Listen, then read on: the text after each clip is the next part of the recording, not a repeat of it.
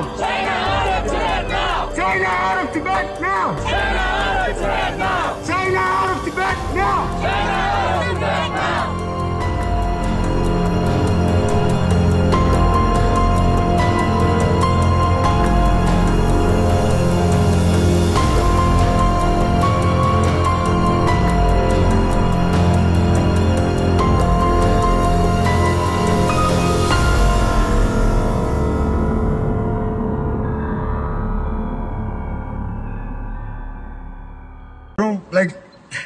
we all know why we're here, right? I, I finished like 170 or around 180 kilometers walking through all this uh, city hall in in Hamilton, Burlington, Mississauga, Stoney Creek.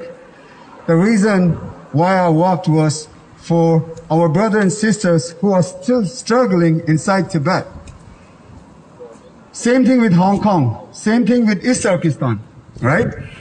So we should never, of course Taiwan as well, we should never forget that our brothers and sisters are still suffering over there.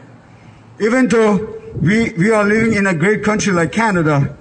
And let's talk about two Michaels.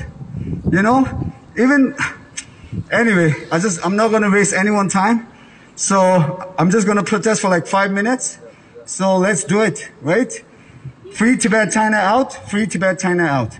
Free Tibet! China out! Free Tibet! China out! Free Tibet! China out! Free Tibet! China out! Free Tibet! China out! Free Tibet! China out! China out of Tibet now! China out of Tibet now! China out of Tibet now! China out of Tibet now! China out of Tibet now! China out of Tibet now! Free Hong Kong! Free Hong Kong! Free Hong Kong! Free Hong Kong! Free Hong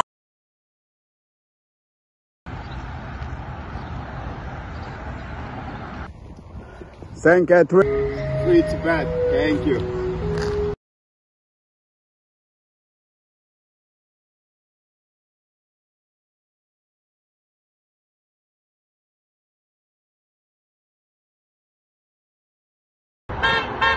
Thank you, Free Tibet. Now at Burlington City. City of Burlington ने town of Oakville for the drive. Thank you, Yellow Free Tibet. Bridge. Bridge Ningbo Shibuji.